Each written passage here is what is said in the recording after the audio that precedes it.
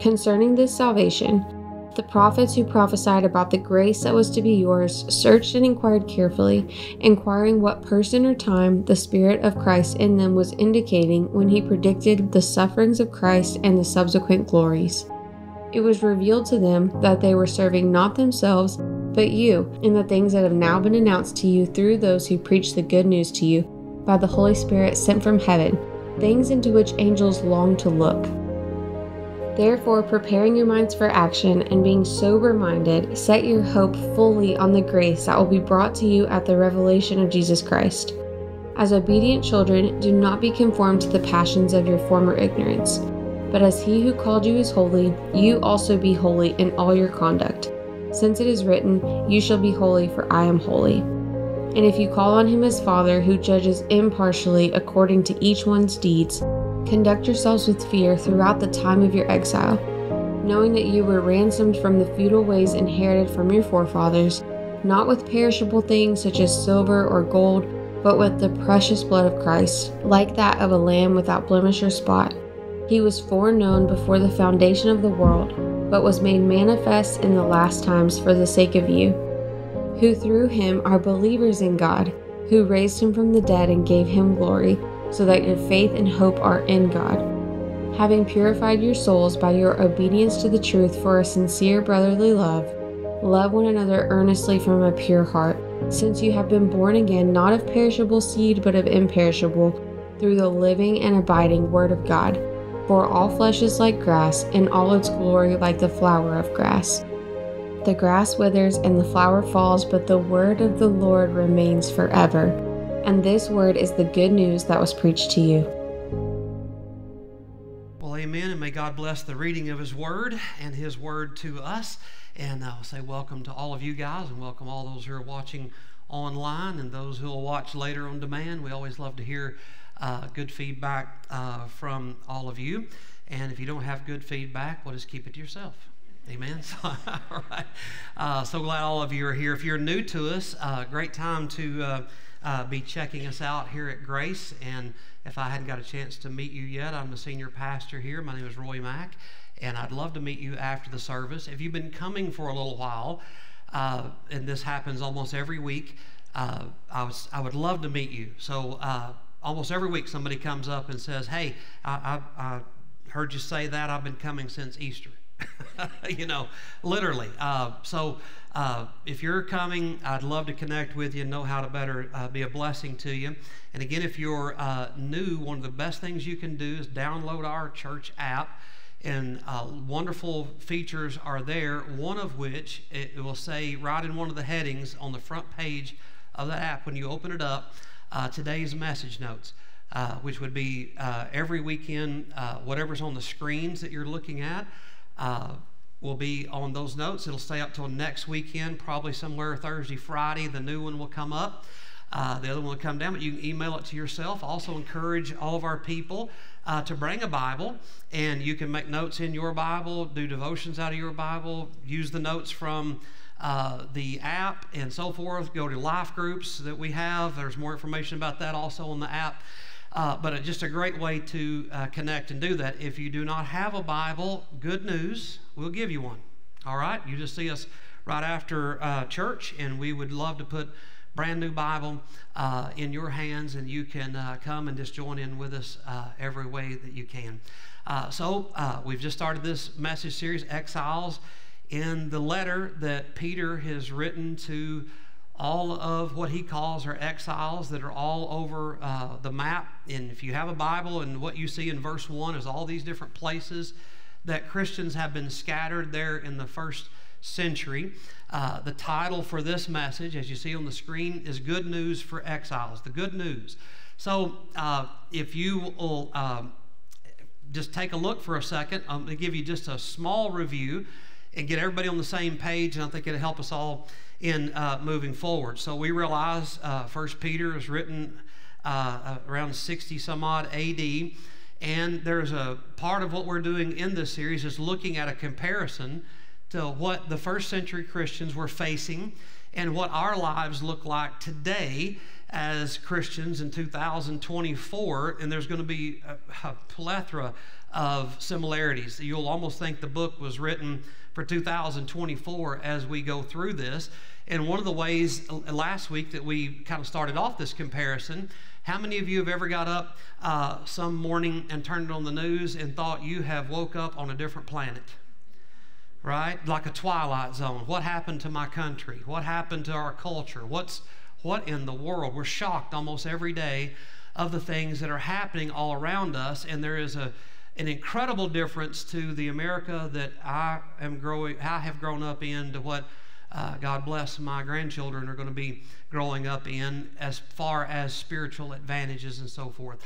So there's also a theme uh, that, if you were here last week, would be a paragraph, but one of the themes to just shorten it down and to say it is this: there is encouragement that Peter is giving uh, the first century Christians and us to rejoice even in the difficulties, even in the hard times, you rejoice and still go ahead and live holy and above reproach in a hostile world, in a world that is hostile toward believers. We're still to live above that reproach and to live in a way that is godly and so forth. And then also, you can more fully identify with Jesus, who himself was an exile. So much of the Bible uh, that you're you begin reading in the Old Testament and right in the book of Genesis, you realize Abraham is an exile, uh, Isaac is an exile, Jacob is an exile, Joseph is an exile. You get in the, the other prophets, Daniel is an exile, the Jewish nation becomes exiles.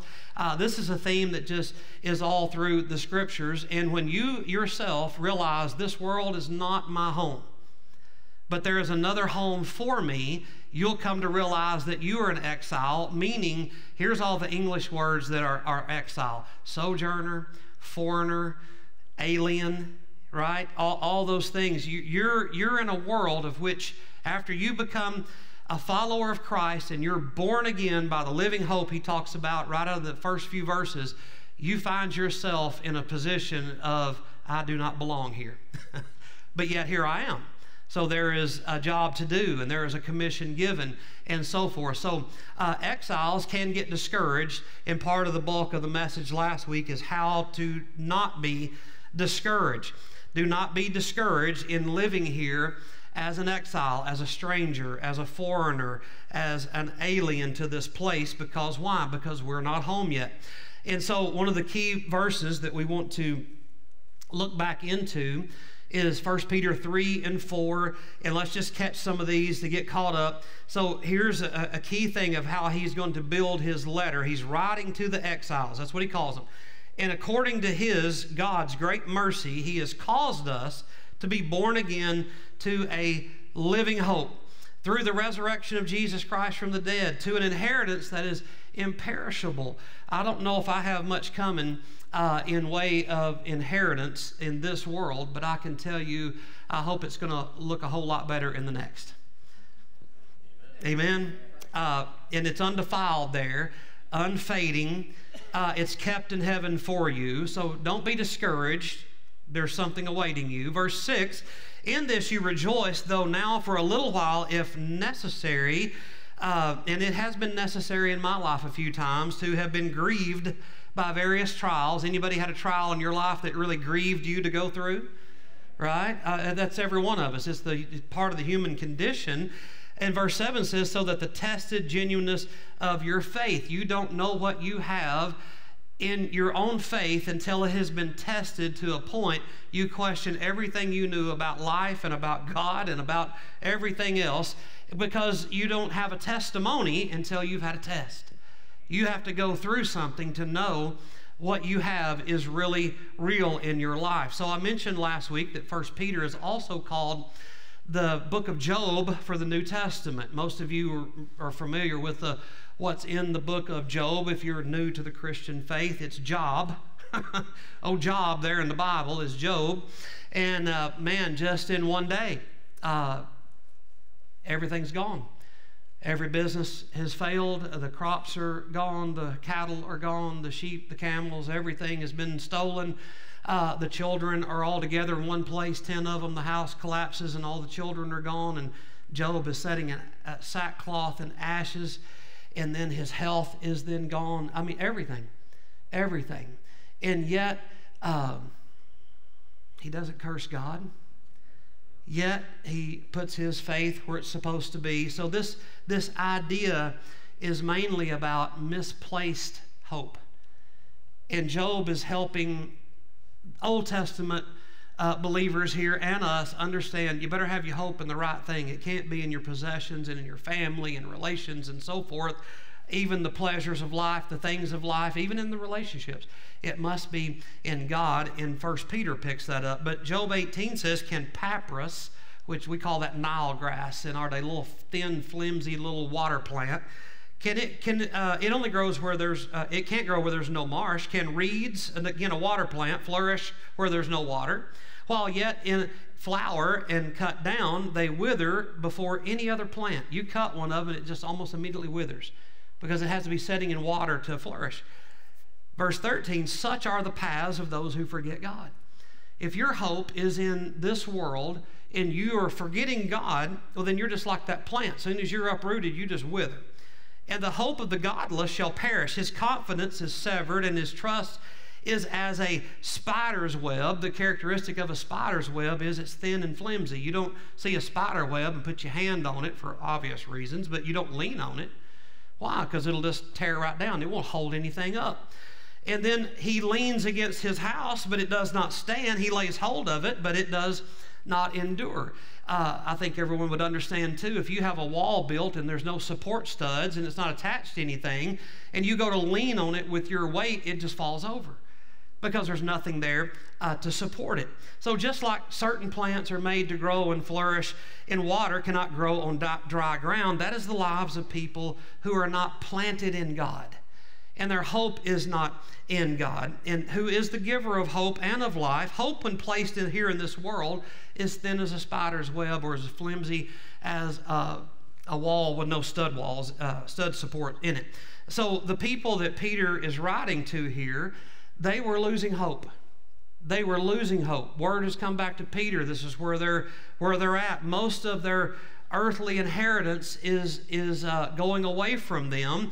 And it's just like today, uh, so many of us here in America, what is most of us, our greatest investment and our highest hope is to have a house paid for one day. It takes about a lifetime to do it for most of us.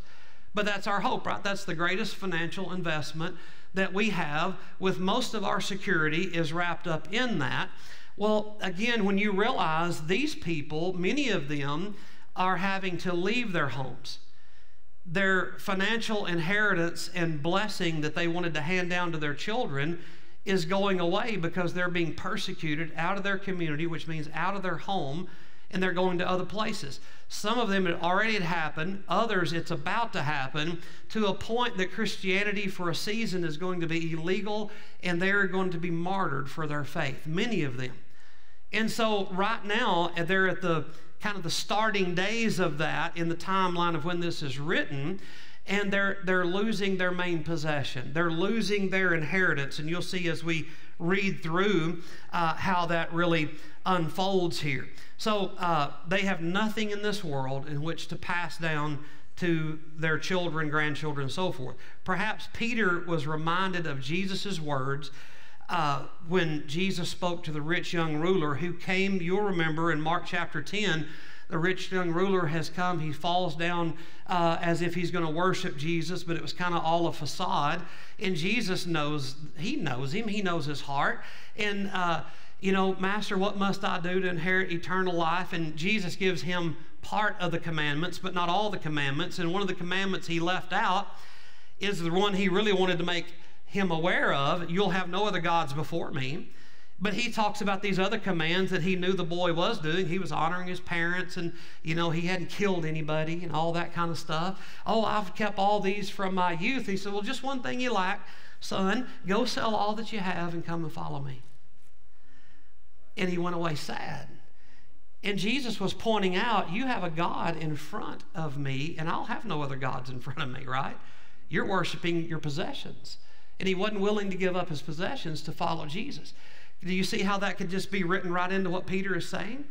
So Peter is now thinking about that. And remember what Peter said to Jesus. It's Mark 10, verse 28. And he said, Peter began to say to him, Jesus, see, we've left everything and followed you. Uh, we laid it all down. You, you said, follow you. I left the fishing business, left my house, left the relationships. I'm following you. And Jesus said, Truly I say to you, there is uh, no one who's left house or brothers or sisters or mother or father or children or lands for my sake or the gospel's that not receive a hundredfold now in this time. Some of our blessings for serving the Lord are going to come in this lifetime, but so much more will be in the life to come houses, brothers, sisters, mothers, children, lands. Watch the word here with persecutions.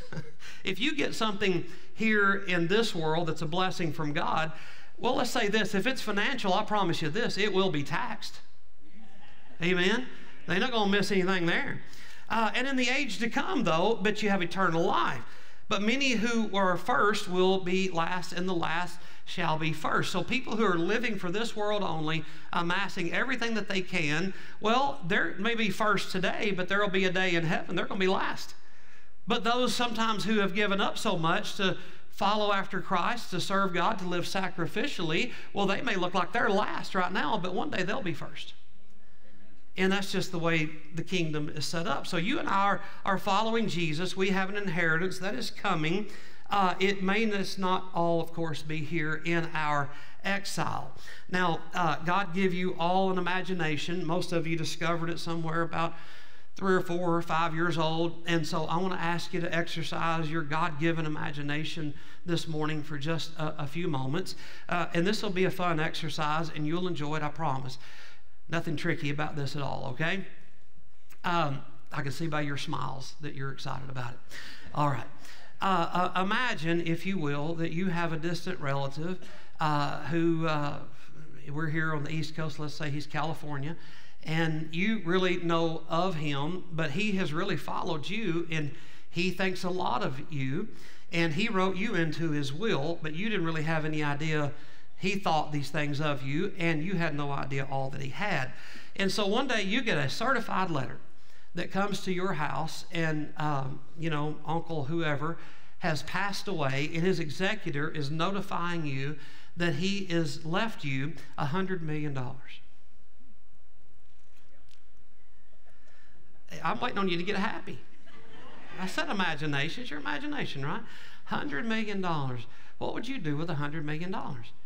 Now, we kind of play that game, you know. We watch the lottery, you know. I don't play the lottery, but I'll, I watch the news, and then one of the last segments is here comes the this ball, that ball, and I'll start guessing them. Like, could I have won this? and, you know, it's a $100 million or $200 million, whatever the case is. Have you ever done that? Uh, uh, hey, hon, what would you do with that money? Right? What would you do with the money? And I know there are certain people who say, well, it would not, it would not change me. I would be the same. Shut your nasty mouth. right? You lie, you lie. I'm telling you, it would change me. not my heart, not my beliefs, not, but it would show up. Amen. You kidding? $100 million not going to show up uh, somewhere? In your life? I, I, I, know that it would. So, anyway, you get the certified letter. $100 million has been left to you. There's a couple of caveats that are there in the certified letter. One is you have to get to California and you need to sign off on all the documents, and it's going to take about 12 months to get it all through, maybe probate and all the different things that are there. And then, uh, but it's signed off, guaranteed. You got $100 million. Let's say it's January right now, it's 2024, and you know that, hey, Merry Christmas. December 24, you're going to have $100 million in your Merry Christmas. Amen? Let me ask you this. What kind of year would 2024 be for you? Do you think you would think about it a little bit? Right? You would think about it. You would keep that certified letter, if not on you, in a very safe place, lockbox, the whole thing. But you would take that letter out every so often and would read it. And here's mainly when you would read it when an unexpected bill came. Oh my goodness, the water bill is up 50 bucks this month. Right? And what would you do before you knew you had $100 million? Turn the water off, kids. Right? Get out of the shower. Did you, did, I know, listen, dads, dads, look at me. Have you ever got your kids together? I've lined all four of my daughters up before. So there's a switch here on the wall. Look. Right? When you walk out, you, when you come in, you. Why? Because all that counts. But now, if you get an unexpected bill, what would you do now? You got $100 million coming. Who cares, right? All this happened, that happened. Barring a health issue or so forth, you, it, everything would be fine. What, you, you could not be discouraged, for the most part, knowing what you had coming. Do you get an idea, at least, what this letter now is about? $100 million coming, certified letter. I want to tell you that we have what we have in heaven waiting on us would make $100 million no more than a roll of pennies. No more than a roll of pennies. Do you realize asphalt in heaven is pure gold? That's what my Bible says. The stinkiest old thing on your body is your nasty foot the nastiest, stinkiest thing on our body is going to stand on the most precious thing this world can offer us pure gold. A hundred million dollars is going to be no more than a roll of pennies. And so, how do you know that? I have a certified letter from my father. Amen. Certified letter. And the idea is when I'm discouraged, I need to open up and remember it's all good. It's all good. Why be discouraged? I, I have all this coming. I have a, a new life and a, an incredible inheritance, and all this is here. Do you think the people in the first century, when they got Peter's letter, do you think that letter was precious to them? I'll tell you, I think every time they gathered somewhere, it kind of went like this uh, to, to the elder or pastor or some leader. Hey, would you get Peter's letter again and read it, please? Would you read it again? Tell me what it says. Talk about that inheritance one more time.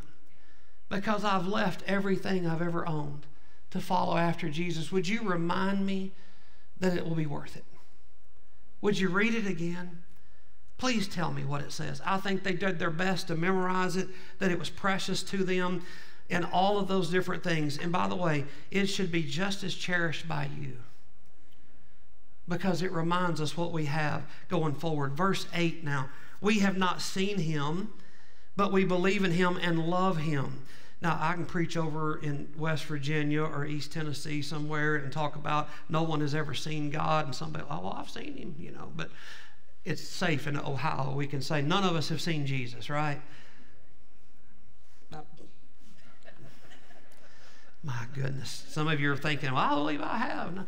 Nobody has seen God. We've not met Jesus in the flesh, but I believe by faith that He is, and His word is true, and I love Him.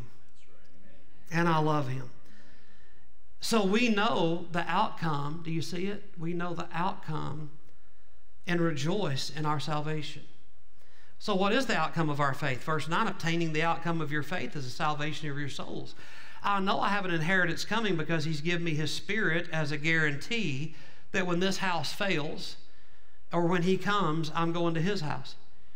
I have a guarantee of that. And the whole thing will, the transaction will be right and good when? When I pass or when He comes, and then the full reality of the salvation of my soul. Verse 10 concerning this salvation. The word salvation right there in some translations will just use the word grace uh, in place of salvation because they're synonymous. The uh, almost they're interchangeable. We are Grace Fellowship Church. We would do no wrong in saying we're Salvation Fellowship Church. It's the same wording and the same meaning. Peter uses the word grace 10 times in this letter, and we know grace is the unmerited favor of God. In other words, I got something I didn't deserve. God, in His grace, gave me the gift of salvation. I didn't earn it, nor did I. Uh, work for it or anything like that. And you cannot appreciate the grace that you've been given in that salvation unless you have some idea of the hell that you have been delivered and saved from by His mercy and by His grace. We're undeserving, yet we have it. So we live and we are to live in the blessing of being recipients of the good news. of the good news. What's the good news? That Jesus has come, He died for our sins, was buried, and rose again the third day, conquering death, hell, and the grave. And through Him, we also are conquerors of those things and have a new life in Him. That's good news when it came to my house, I can tell you that. Peter's readers were enduring affliction. Some of them are even going to have to face martyrdom for their faith. They're under pressure, even in their own homes, some of them from a pagan, unbelieving spouse. Chapter 3 will talk about that. How, how does a woman who's come to faith win a husband who couldn't give two cents about Christianity? Peter will talk about that. How can we live in the affliction of uh, where we work and your boss or employer couldn't give two cents about your faith and does everything he can to make you miserable because why? Because you're a follower of Jesus Christ. Chapter 2 we'll talk about how to work through that. And then all of these people are living in a world that is very hostile toward Christianity because it starts to look so much different than the world that they're living in. And so some of these people are wondering, why should I suffer for my faith? Is it worth the pain? that I'm going through? Is it worth losing my house over? Is it worth relocating my family? Is it worth being a vagabond? In the world? Is it worth really the harassment of being ostracized from my community and ostracized from my social circle and being called a weirdo? And my kids being called weirdos at school because they don't participate in all the other things that are sinful that the whoever else is caught up in. And so Peter's answer is to get them to look up from their sufferings and to look to their salvation in Christ and to say, He's worthy of my life. He's worthy of everything this world could give me. And if I see how great a salvation I've been given, then it will be okay. And so, what he's going to go into now in verses 10, 11, and 12 is things like this the prophets, the Old Testament prophets, all those names in your Old Testament. I'm talking about the Isaiah and Jeremiah and Ezekiel and Daniel and Hosea, all those different names, all of them could not fully understand what you are enjoying and that is knowing God personally and the Spirit of God living inside of you, notice that they could not understand how, how, how could the Messiah come and suffer? How, how would he die? And even Peter did not understand that, nor all the disciples. And you remember from our study in the book of, uh, going through the book of Mark, when Jesus said, I'm going up to Jerusalem three different times. I'm going up to Jerusalem. I'll be delivered to the hands of the Gentiles. I will be mocked and crucified and buried. And on the third day, I'm going to rise again. Well, they didn't hear that latter part. Peter just snatches Jesus by the arm and pulls him aside and says, You are not going up to Jerusalem and dying. You will not do that. What was because it didn't line up with what Peter thought the Messiah should do and be. And Peter's mind is, let's go up here, overthrow Rome, and we'll set up your millennial kingdom, and you'll rule the whole world, and we'll be on your council. Because that's what the Messiah is supposed to do. And by the way, that will happen. Peter was just 2,000 years wrong. Right? So, uh, it doesn't mean these. Uh, people in the Old Testament were not saved. They just couldn't understand it the way you and I can understand it and follow it. So they lived in the hope of the Messiah coming. We live in the hope of the Messiah coming back. You see the difference? We have all of those things. The good news that has been brought to us as exiles, we receive the gift of salvation and we get to participate in carrying the good news to the rest of the world to the rest of the entire world. We get the blessing and responsibility of all of those things to evangelize the whole world uh, by that. So the question arises when we suffer well, what if Christianity isn't really true? What if I'm just believing in some myth? What if I just got caught up in some kind of emotionalism or some purely something uh, psychological? What if I'm suffering for nothing? And by the way, you get hit hard enough in the mouth for the cause of Christ, you'll start wondering is it worth it? Is it really worth it? Peter's answer is that our salvation is rooted in all the prophecies that these men and women made in the Old Testament. It's rooted there. And then Jesus has come and fulfilled it by dying on the cross, being buried, raised again on the third day, being seen alive for the next 40 days right? And then the day of Pentecost has come when Peter preached and these lives are being transformed and these wonderful things are happening. He said, Look, it's all happened like Jesus said it would happen. Like all these people in the Old Testament said it would happen. It's true. It's all true. Even the angels in the latter part of verse 12, even the angels longed to look at it. They looked over the balances of heaven and said, I don't know how God is going to become flesh.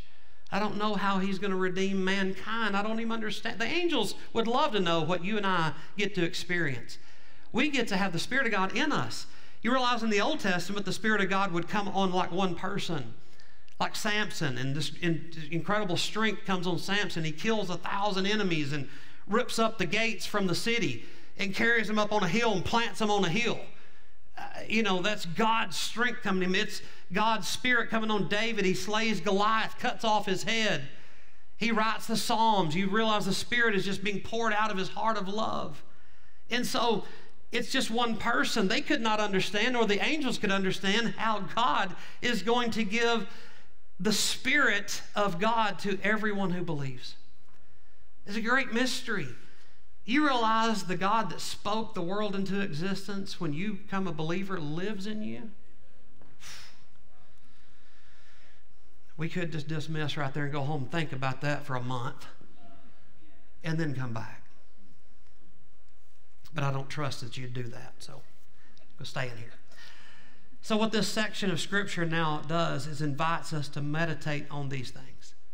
Think long and hard about the Spirit of God living in you, how that for millennia, the holiest, most righteous people desired to know it. And you have the Spirit of God living in you. Now, watch, verse 13, he says, therefore. And you know, a rule of Bible study, when you see a therefore, you must ask yourself, what is it there for? So, the way Peter writes his letter, and I'll explain it a little more in detail next week, is that he writes in a way that causes us to continually go back and reread what we've read. In other words, there, therefore, what?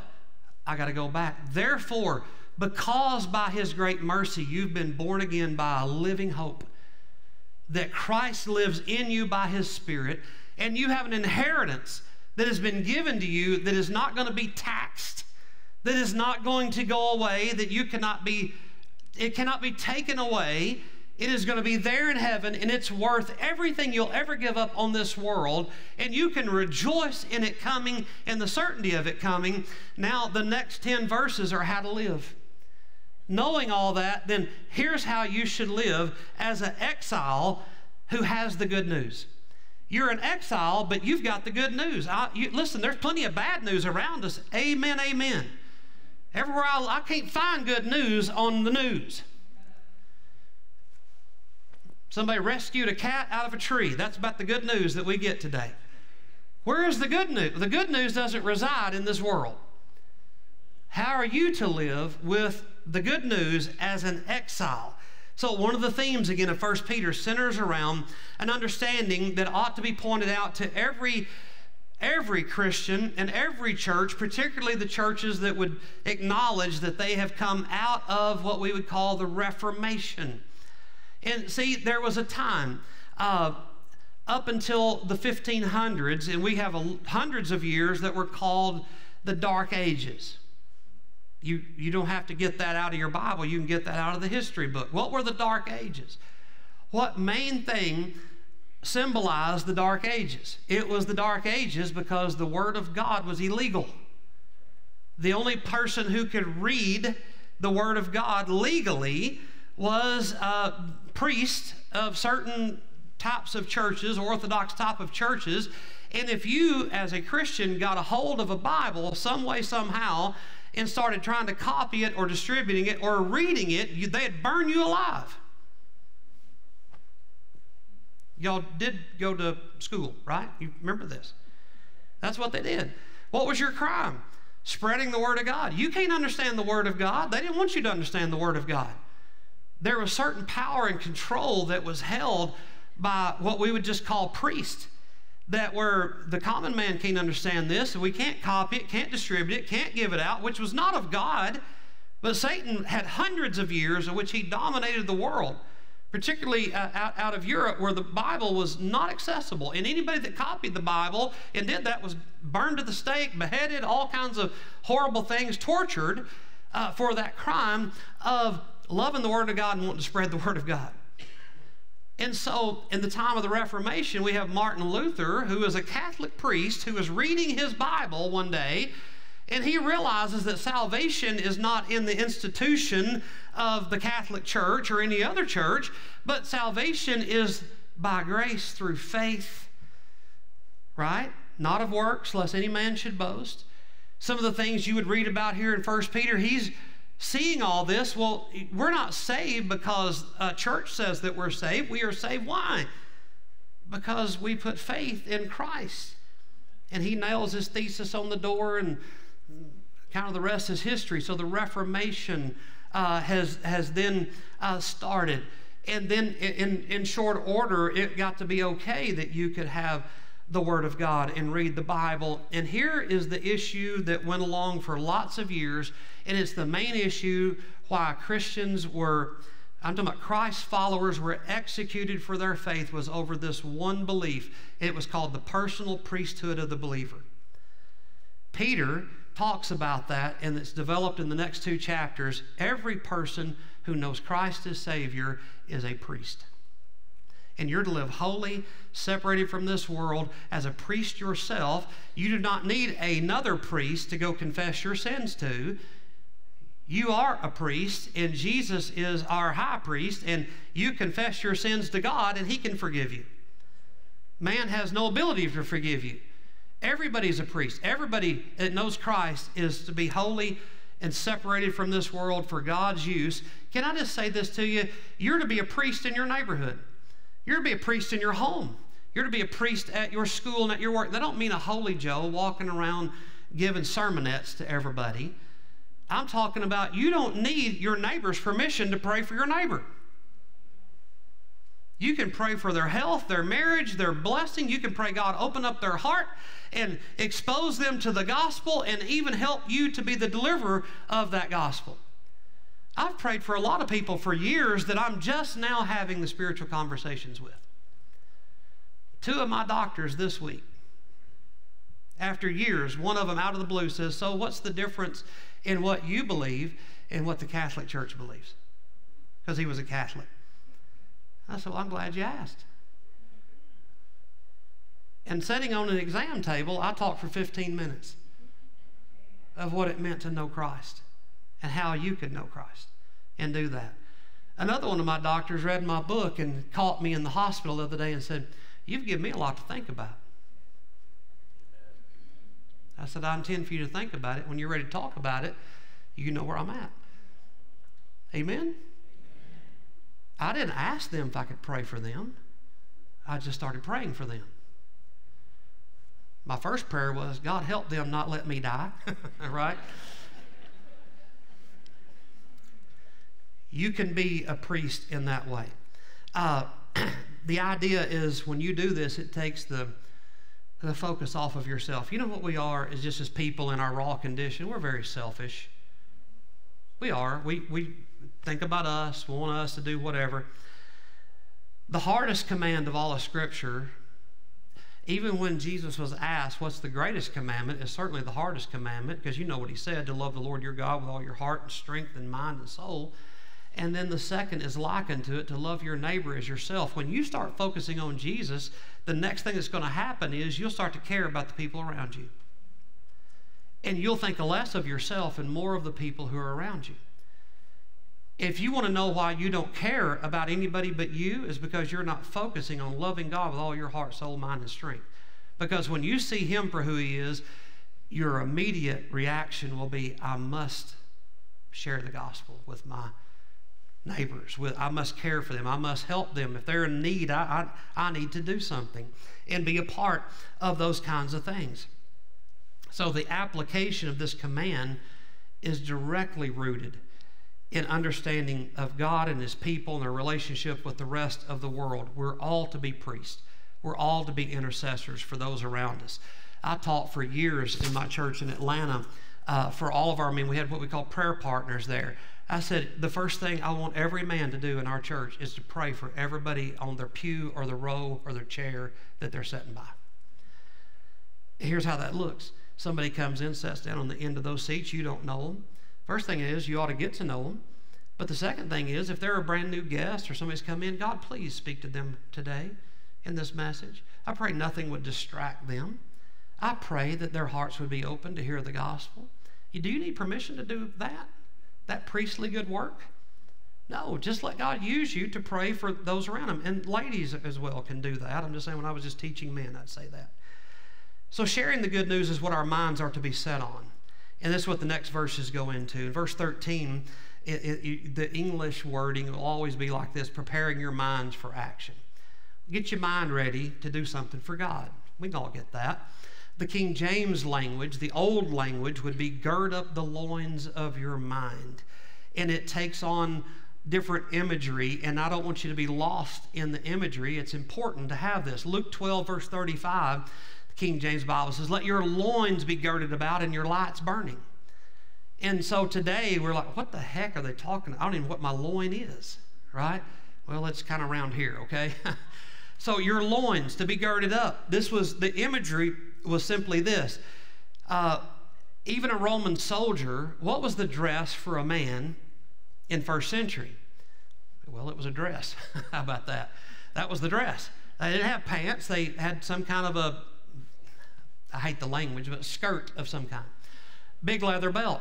So preparing and girding up your loins was this I'm about to fight, I'm about to run, I'm about to need my legs not to be inhibited by anything. So a man would reach down and grab the back of that, pull it up, right tied around his legs, and tuck the excess of it into his leather belt. And now he can run, fight, do whatever. He was preparing himself for a battle. It's talking about being ready to do something, be ready to do something.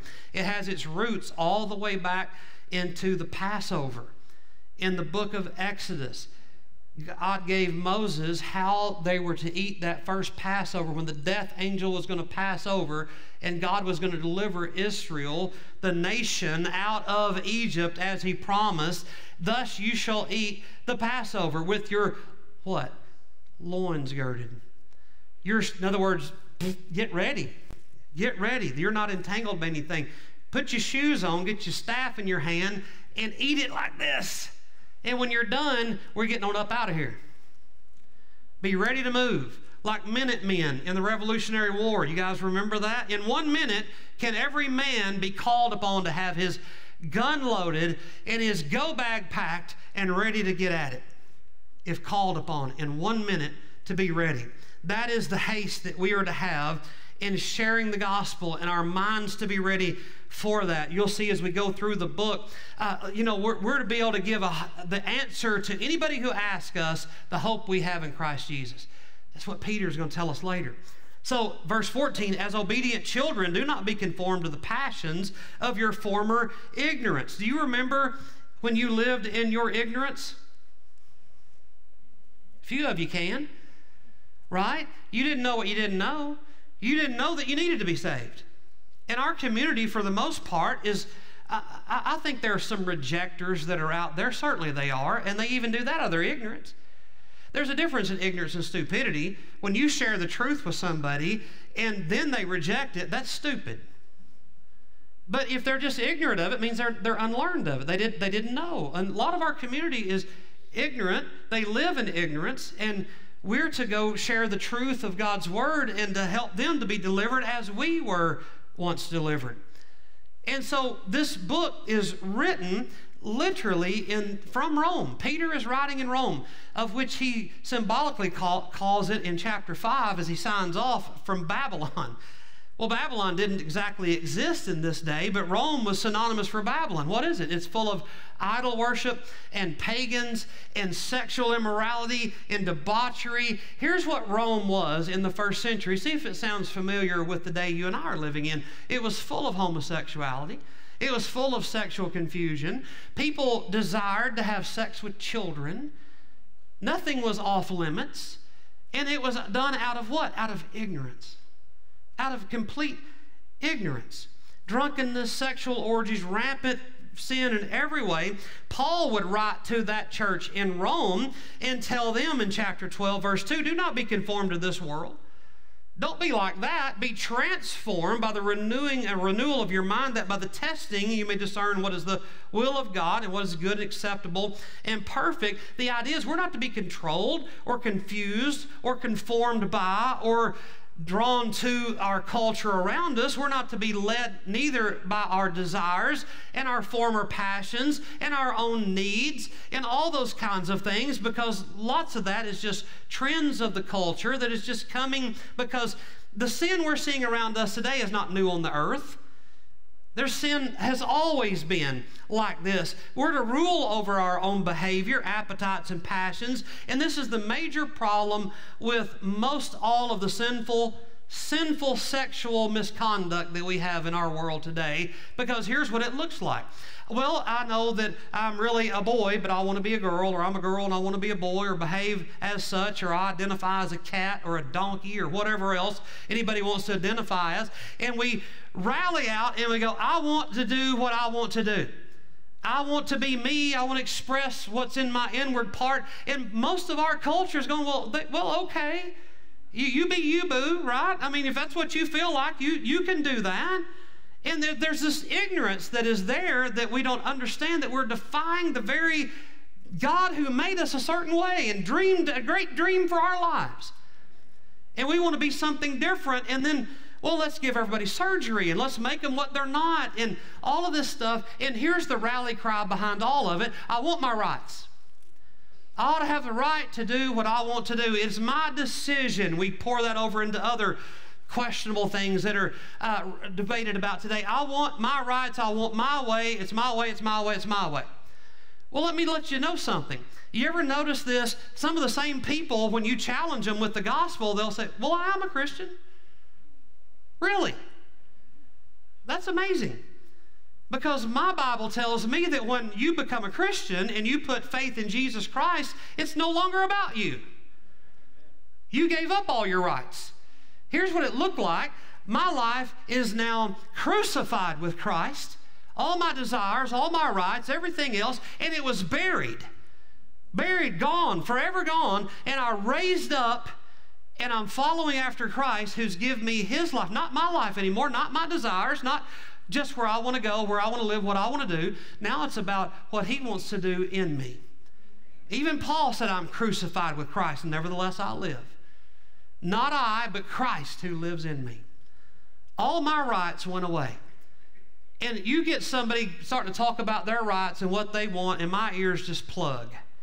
I'm thinking, you do not know the Jesus of the Bible. You do not know it because when you start knowing Him, all that dies and goes away, and it becomes about Him and them and no longer about you. You're welcome. You're to have His mind. Philippians 2 let this mind be in you, which was in Christ Jesus also. I can't imagine my Savior identifying as a cat and defecating in a litter box. I cannot imagine my Jesus wanting to say, Oh, I want to be something else. Let this mind be in you, which was in Christ Jesus. 1 Thessalonians 5 8, but since we belong to the day, I got to live today. I can't live a thousand years ago or in the future. I, I have today. I'm living today. Well, I better be sober. Let us be self controlled, is what that means. Having put on the breastplate of faith and love and the helmet of hope of salvation. So the Holy Spirit is in us to help us and aid us. It doesn't force our action. The Holy Spirit is available to be something we can lean into and lean on, and we can have our hope and our security and stand for God in a world that's hostile toward anybody that doesn't agree with them. Peter's not speaking down when he says he calls them obedient children. He's drawing from another one of Jesus' sayings in Matthew 18. Remember, Jesus gets that little child, sits in front of them. The context of that is they were all talking about, well, I'm, who's the greatest in the kingdom? I think I'll be the greatest. What about you? No, Matthew, you're not going to be the greatest. Peter's going to be the greatest. No, John thinks he's going to be the greatest. Jesus set a child down and said, unless you turn and become like little children, you can't even enter the kingdom of God. Doesn't mean you're not going to be saved. It just means you can't even walk in the kingdom. You're nobody we're going to build the kingdom with. But if you humble yourself and become obedient like a child, you know one of the characteristics of a child? They just believe what their parents say. Do they not? How, how, why do they believe that? Because that's just the child's heart. That's the humbleness of a child. At a certain age, that, that they get to be talking back and all that. We know that. That's when they start looking like me and you.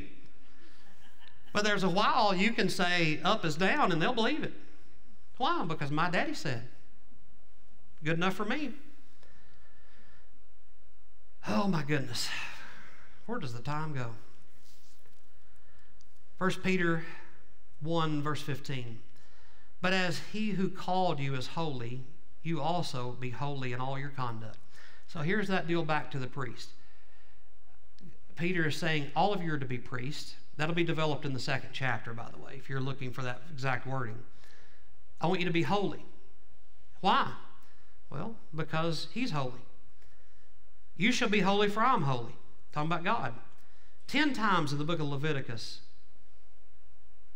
you read that statement. You be holy as I'm holy. Uh, here again, Peter's drawing on this teaching that we all can be priests, holy, set apart, in in uh, use for God, like the holy, uh, like the tabernacle was set apart, was holy. Again, in the next couple of uh, messages, we'll talk about that in detail in chapter two. You're to be that Old Testament tabernacle, but now you're a New Testament tabernacle. You're a priest. You remember the song we just sang a little bit ago? He's our cornerstone. Where do we get the wording for that? Well, it's Jesus' words, and Peter then quotes it again. He's the, he's the stone in which the builders rejected. He came into his own, and his own received him not. We don't want to build with you, Jesus. That's, the, that's, that's what the world says. That's what, what religion says. But he's the cornerstone, and we're in the next chapter, we're the lively stones. We're the, the holy priest that he is going to build his house upon and it's how we're going to advance the gospel. You and I are going to get uh, to do that. Uh, so, uh, what does uh, some of this mean today? Well, you can be an intercessor, right? We talked about that. So, everything you're involved in, you're to be holy therein. And if you're not, if you can't be holy in some activity that you're involved in, guess what? You're involved in some activity you shouldn't be involved in. You shouldn't be involved in it if you can't be holy in it. Uh, why be holy, you may ask? Because God, your Father, according to verse 17, is going to judge impartially. I know Jesus is your friend and all that, and we kind of turned that into our buddy, and you and Jesus got your own thing going on, but I want to tell you, He's still your judge. And if you do not behave yourself in a way that is lining up with Scripture as a Christian, He'll bring some things into your life that will cause you some pause and some difficulty and judge you in the spot that you're in to help your heart and mind align with Him so you'll not be a reproach on this earth as you walk through and be a bad billboard for what it means to be a Christian. Our lives are to be sanctified and set apart. Why, you may ask? I'm glad you asked. Verse 18, knowing that you were ransomed from the futile ways inherited from your forefathers, not with perishable things such as silver or gold. You know what you were bought with? His very lifeblood. How could you not be precious in God's sight if He literally shed His blood to buy you out of the hole in which you were in? He, he ransomed you back to Himself by the very blood of the Lord Jesus Christ. And the rest of the gospel is in those verses that, that, that what? It was that He he foreknew him. He died before he framed the world. In God's mind, Jesus was already ransomed before he ever spoke the world into existence. And he raised him from the dead and gave him glory that you may have faith and hope in God. The sin debt was paid again, not with perishable temporal things, but with the very precious blood of God. The good news is that Jesus has given his life to redeem us to himself, because that's what the good news is, right? And you, you have to know the bad news for you can get the good news. I was I was dead in my sins and on my way to hell where I'd be separated forever from God. And in His mercy, He brought the gospel to me and caused me to have a living hope and to be born again into that living hope. By His grace, I have that. Not by what I've done, not by attending a church, not by religious activities. Purely out of His mercy and out of His grace, He gives this to me that I can know Him and have eternity with Him. That's good news. It was good news when it got to my house. Let's close it out here, verse 22. having purified your souls by your obedience to the truth for a sincere, watch now what's supposed to come out of our life a brotherly love, loving one another earnestly from a pure heart. Since you've been born again, not of perishable seed, but imperishable again, it ought to show up into us that I'm different because I've gotten saved. And this is the word, as it's given there in the last, is the good news that was preached to you. Paul appeals to something that you ought to give a little thought about before we go home. What's the evidence of a real conversion? Right? Here's the idea. You, I didn't give this to the other folks, so you're special. If I buy an old, beat up, rusted out car and I pay good money for it, I've bought it it is, in a sense, born again into my family. I take possession of that car. And over the next few years, I'm going to hear the word. I'm going to convert that car and restore it into something greater than it ever was. Ownership happened in a moment, conversion takes a little time. Everybody get it? And at the end of my long, hard toil in my shop over days, weeks, months, and years, I roll out a beautiful, you name it, SS Camaro 454 barrel shift kit, uh, you know, the whole thing. A beautiful car. It's converted to something that is amazing. You know what people will say? Wow what a radical change. I remember when it was sitting on blocks and was junk. Yeah, well, it's not junk anymore. You want to go for a ride? the evidence of a real conversion has to be a radical change. Somebody help me here. Radical change. Oh, I'm saved. What changed? Well, I started going to church a little. That's not a radical change. A, a, new desire and new care for others will also be what shows up in your life if you're converted. Because lost people don't care really much for anybody except their own. But all of a sudden, you care about people that you wouldn't have normally give two cents about.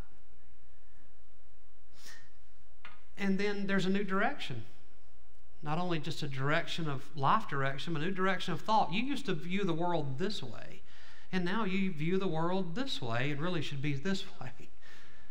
I just see things different. Why? Because the Spirit of God moved into me and He poured His love into me, as Paul would talk about in the, to the church at Rome. And your affections and behavior would be completely different. Completely different. Now you just love people. Just love Lord, the Lord and love people. James put it this way so also faith by itself, if it does not have works, is dead. A lot of people take James 2.17 and say, well, you, that means you got to work your way to salvation. No, that's, no. You can't work your way to salvation. Why? Because it, it, every book takes time to say salvation comes by grace through faith. It's not of yourselves, lest any man should bo- boast. In Ephesians chapter 2 talks about that. Your faith ought to have some works that show up because you have had faith in Christ and because you are a new creature. I didn't work to get in, I work because I am in. And then that, that, that love, you know, John talked about it in 1 John 3.14. We know that we have passed out of death into life. We, in other words, we've been born again because we love the brethren. I love the people that go to this church. I love the people who know Jesus. He who does not love abides in death. It's so natural for us just to love ourselves and not love the other. Now, the last few verses in, in verse 24, Peter is quoting Isaiah chapter 40 and verse 6 through 8. And this chapter is really the most remarkable in showing something to us that is the sharp antithesis of human life how beautiful human life can be. What's human life compared to here? The flower of grass, beautiful wildflowers growing. You ever looked in a field that was a hundred acres of just beautiful flowers? And you go, man, that's so that's so beautiful. Well, come back in the fall. Pfft, all goes away. but the word of the Lord remains forever. Aren't there some beautiful people in the world? I'm a straight heterosexual man. And there's some men that are absolutely so handsome that straight heterosexual men will stop and go, Man, that guy is handsome. And then there are women, and most all of us will fit in this certain age group, that you just can't help it. You, you, I'll be with my wife and go, I'll even say to her, My Lord, that person looked like an angel. How, how much more beautiful could they be? And then I'll turn and go, But they're, they're, they're no comparison to you. I just want you to agree with me. There are some beautiful people in this world. What I want you to now understand is just give them time. Right? In time, the physical will not look as it should. Everybody's going one way, and it's not younger and more beautiful and more vibrant. Hello.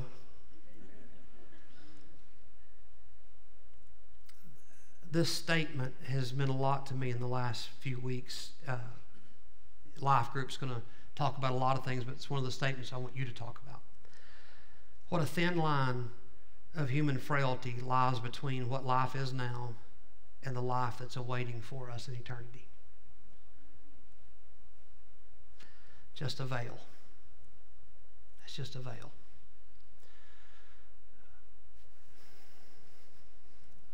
We are frail exiles here. I have my next breath because God allows it. If I wake up in the morning, it's because God allowed it.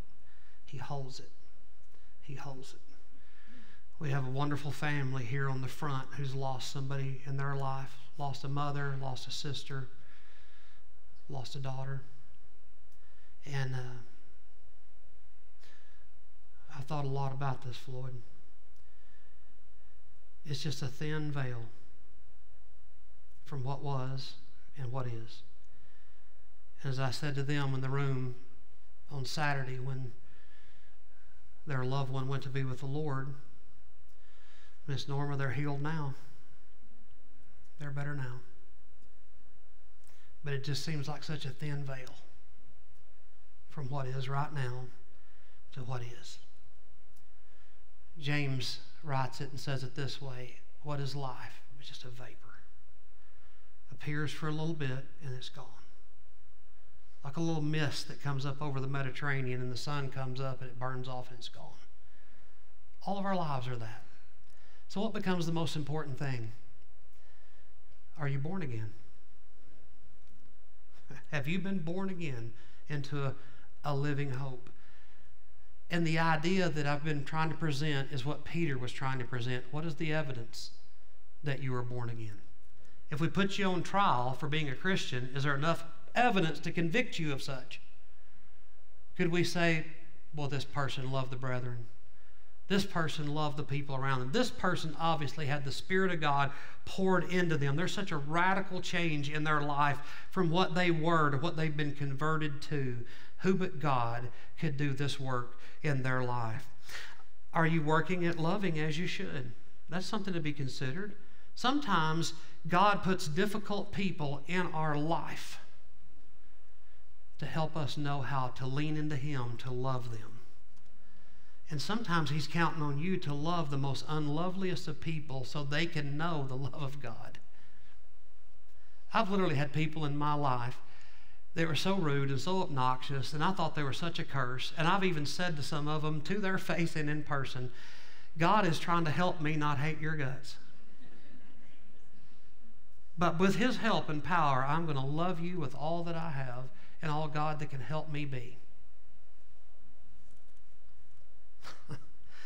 Perhaps you've not met them.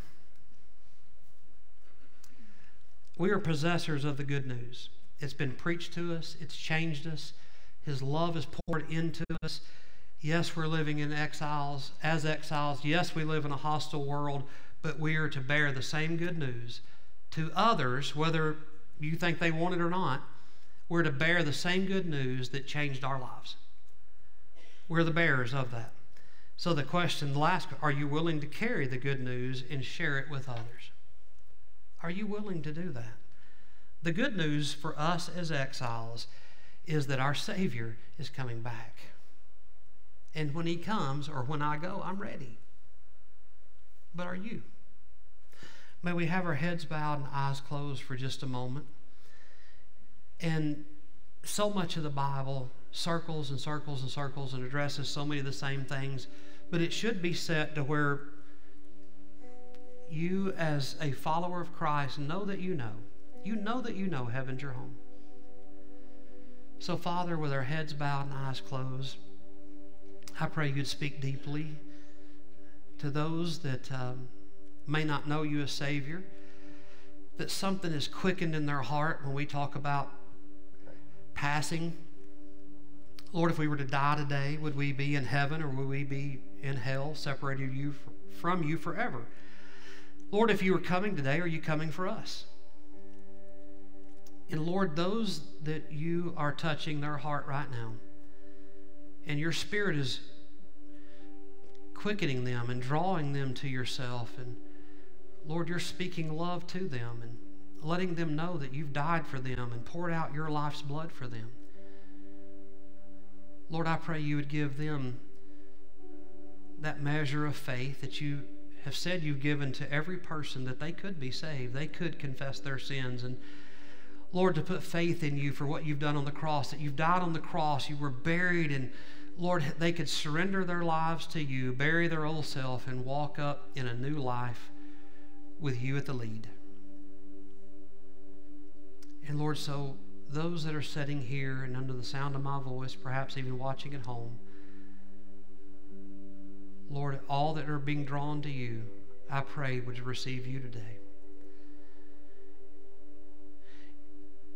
Now, if that's you with our heads bowed and eyes closed, right where you're seated, would you just turn your life over to Him? Surrender it. Let self die. Let Him come alive in you. Let Him pour His love into you. Let Him convert you in time to something very usable and beautiful in His sight. Right where you're seated, you could pray a prayer and He could save you. You don't have to pray it out loud, but maybe a prayer like this I'll offer to you. You could pray it behind me. If it's in agreement with your spirit to His spirit, and He says, Whosoever shall call upon the name of the Lord will be saved. Pray a prayer like this Dear God, I do believe that you love me, and I confess that I'm a sinner. Thank you for setting me in this seat today to hear the gospel. Lord Jesus, save me. I believe that you died on the cross for me, that you were buried. Bury my old life with you and give me a new life in you. The best I know how, I ask this in your name.